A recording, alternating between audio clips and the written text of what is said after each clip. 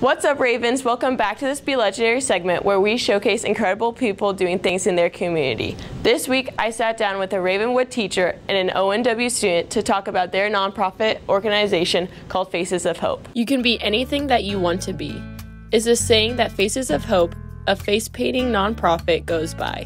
Faces of Hope is a face painting organization that is run by students in high school that give back to the community by attending non-for-profit events and face paint for children going through cancer treatments or other childhood illnesses.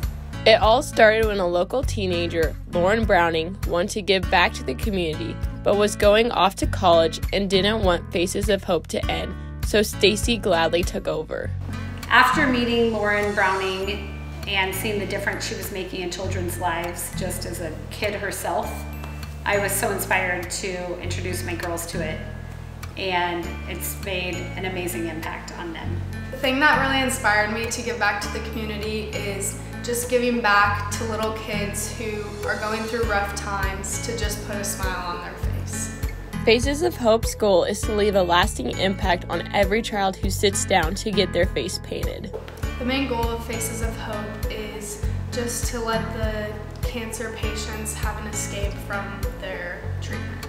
The main goal of Faces of Hope is to give children experiencing hardships or illnesses or cancer an escape from their reality. They look forward to spread joy and happiness on their upcoming event on December 8th for Children's Mercy's Christmas party.